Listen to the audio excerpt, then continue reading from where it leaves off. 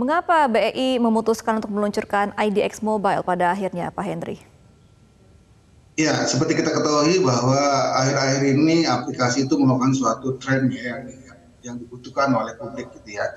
Dan pada tahun 2022 kami melakukan survei uh, kepada publik bagaimana uh, kami untuk meningkatkan kualitas layanan kami. Dan dari hasil survei ini memang mayoritas itu publik itu uh, mengakses informasi melalui media sosial maupun melalui mobile application. Jelajahi cara baru mendapatkan informasi. Download Metro TV Extend sekarang.